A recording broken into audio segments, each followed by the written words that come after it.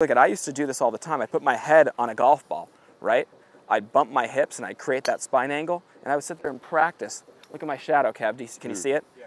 Look, look at that. I sit there and practice rotating without having that head move at all. All that means is my spine angle stands still, my left leg is staying still. There's a metal pole here and a metal pole here, and I'm just rotating cleanly around both, right? Boom, boom.